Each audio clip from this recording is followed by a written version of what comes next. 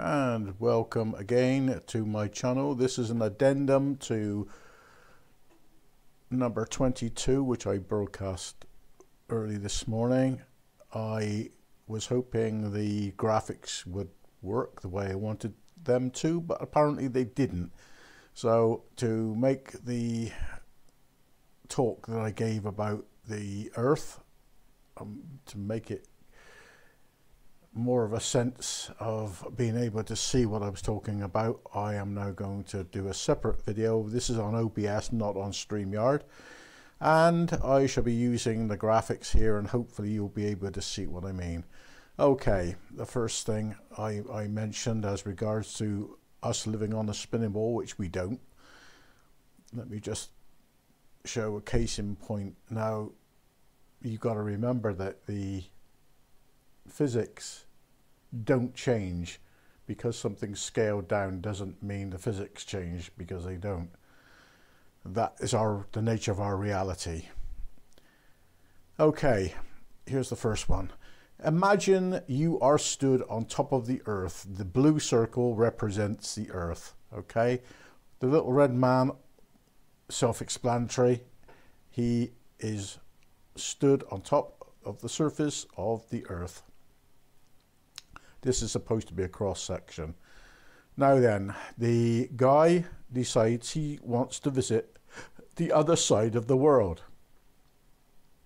This is all supposition and speculation because obviously there's no way this could be done because the actual Earth as it's represented with this blue circle uh, being a, a, a ball is just ridiculous.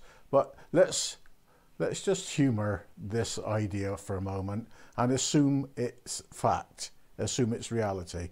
So this guy now digs himself a very, very, very deep hole, a hugely deep hole. He keeps digging and digging and digging. And while he's digging down, he is attaching ladders to the side of the hole. Eventually, he reaches the other side of the ball, which is what physical reality would, this is what would happen were this earth to be a ball, which it patently is not. But were he to live on this ball, he would tunnel completely through at a 90 degree angle to where he stood straight down and he would emerge on the other side of the ball. Okay, so he's going down the ladder I can't, I, have not done this with uh, animation. I don't quite know how to cope with that at the moment. I'll work on it. So he eventually pops out here. Pop! Now, here's the question. Bearing in mind that physics don't change. He's gone down the ladder. He's gone down the hole. Now, would you go down a ladder head first? Into a, especially into a very deep hole? No, of course you wouldn't. You go down feet first. So tell me, he's gone right through the center and right out the other side completely at an opposite sides to where he, he stood. So he appears magically on completely in the same spot on the other side of where he stood. So how is he going to come out of this hole? Now that doesn't take a lot of thought. In case you're wondering he's going to come out feet first. So assuming he's in the North Pole and assuming he comes out in Antarctica, okay, on this supposed ball, he's gone down the hole and he's going to come out feet first. So he will actually be in Antarctica stood on his head. Do you see the, the, the absolute ludicrous nonsense that this spinning ball, this whatever, whether it be spinning or not, can you see the absolute preposterous idiocy of this idea that we live on a ball? No. It's absolutely stupid. It's beyond stupid. It's insane. Okay, that's the first thing.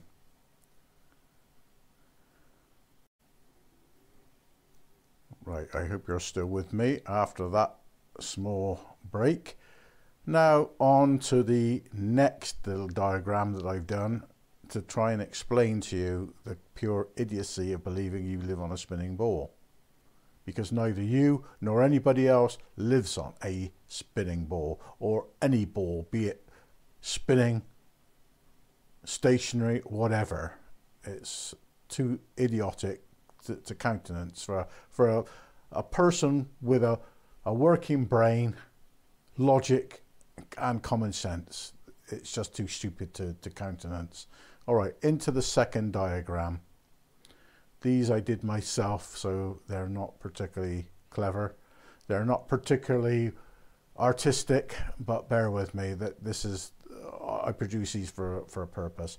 Right, again, our blue ball, okay, which is yeah. You have a, a red line, more or less bisecting this, this ball, or this two-dimensional circle. This is supposed to be the equator, okay?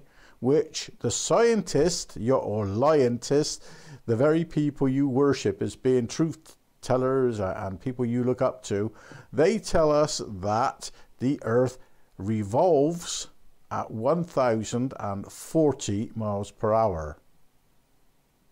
Okay, with a supposed rotation from east to west west to east actually. Um, so let me ask you, let me posit this idea for you. Here we have an aeroplane. This aeroplane is traveling at a speed of 600 miles an hour, which I think is way above commercial aircraft anyway. But we're going to be generous. I'm going to be very generous to you ball believers. This aircraft can travel at 600 miles an hour. Okay. Now the aircraft takes off from Los Angeles to New York, as exemplified by this arrow pointing towards the east. Okay. We are told that the Earth rotates at 1,040 miles per hour at the equator, which is its widest circumference. As you go up to the narrower circumference of the ball, it the speed drops. So I'm going to be very generous again and say uh, this is a very rough equation, obviously, because it's such nonsense. It doesn't matter where I put the line. But just to be fair, I put the line up above the equator by quite a bit to where the equator would, would be, to approximately to where North America would be, maybe. Um, and the Earth's rotation, because it's a smaller diameter, would be actually slower. So again, very generous estimate using that figure of the equatorial speed. I'm going to say that the Earth rotates at 650 miles an hour. I think it would be uh, quite a, a, little bit more than that, given uh, were I to, to be able to work out the mathematics of the uh, uh and the geometry but as I'm not into either of those things, I'm taking a rough guess. I'm being very generous in this this uh, uh, this approximation. So the aeroplane now has taken off from Los Angeles and it is heading towards New York, straight across America. The maximum speed of this aircraft is 600 miles an hour. The Earth underneath it is outpacing it by 50 miles an hour. So Pray do tell me, how is this aircraft going to land at all? How is it going to land? Because New York will be moving away from it as it travels towards New York at 50 miles per hour. So in a few hours, it will have gone several, a hundred or so miles easily. So how is this airplane ever going to catch up to it? Because it, remember, its maximum speed is 600 miles an hour. So it's being outpaced by the rotational speed of this supposed globe by 50 miles an hour. And that's being very generous towards the, the globe ideology. Let's work this in reverse and let's suppose the plane took off from New York and it's flying to LA. Well, the idiocy becomes even more marked because the aircraft now at 600 miles an hour, remember, is flying against the Earth's rotation, which is 650 miles an hour. So that's 1250 miles an hour closing speed between the Earth and the aircraft, combined speeds. How the hell is that aircraft going to land anywhere without hitting the ground and being flung all over the place, bursting into flames and killing everybody on board? How is it ever going to land when the air when the airfield beneath it, as it's flying towards it, is passing it at over 600 miles an hour? Even as it slows down just to come in for a landing, we know that aircrafts decrease their speed, but even so, you've got a speed of 650 miles per hour moving away from where this aircraft is trying to get to. Can you see the idiocy of this ball earth? If you can't see how stupid the whole idea is, how we've all been indoctrinated by bullshit and lies right from the very beginning. And there's so much evidence, there's so much proof that we do not live on a spinning ball. Please take the Bible as your primary source of truth.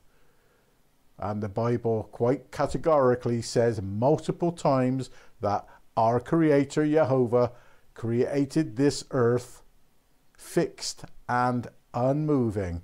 You will never hear that in any church services. They conveniently forget that happens to be in their Bibles. Okay, well, thank you. I've explained what I meant to explain using the diagrams now. So I hope it has become more transparent rather than me just babbling on and not being able to see what I was talking about.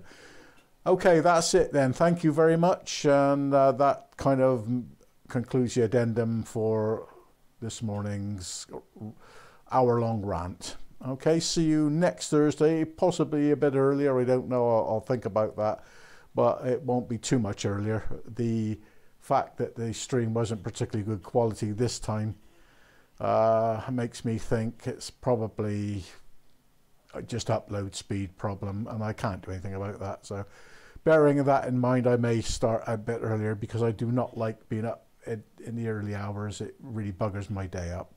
Okay, thank you very much, and uh, hopefully I will see you all next week. Shabbat Shalom to all of you. It's now Shabbat here, incidentally. It's now, I don't know what the time is because I'm in OBS and I cannot see the clock.